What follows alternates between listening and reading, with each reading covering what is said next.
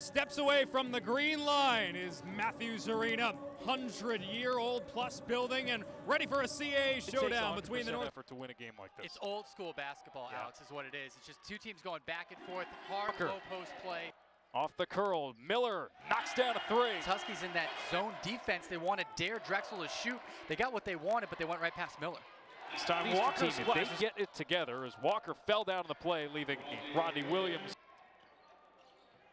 Walker, no look pass, Ford will down the shot clock. Northeastern not giving him any open looks. Mojica, that's a tough three, and he hits it. Nice take and gets the roll. See the Huskies shooting that way, you almost feel like you have to catch up early. Bagley, nice finish. Again, under 10 to shoot. Sammy Mojica steps in and hits the 16 footer potentially. David Walker slowing it up. TJ Williams was ahead of the pack. Walker spot a three, got hit, and rattles home the three. to put this game out of reach if they hit one here. Ford, he's got it. On a nice dish from Caleb Donnelly. Right on cue.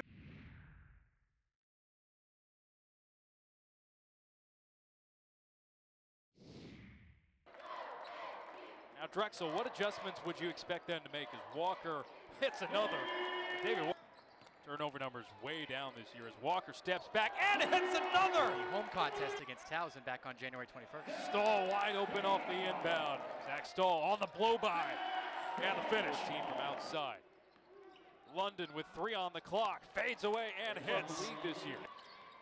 Skip past Tavon Allen, steps in, and a high percentage jumper for Allen. It's dangerous playing a team that some comes so close. London had that shot altered, got back the loose ball, and London with the finish high off the glass. Marked by David Walker, TJ Williams lost his man, and Rodney Williams with the flush. A bad turnover from Zach Stahl. Sammy Mojica ahead of the pack, and Mojica couldn't finish it off.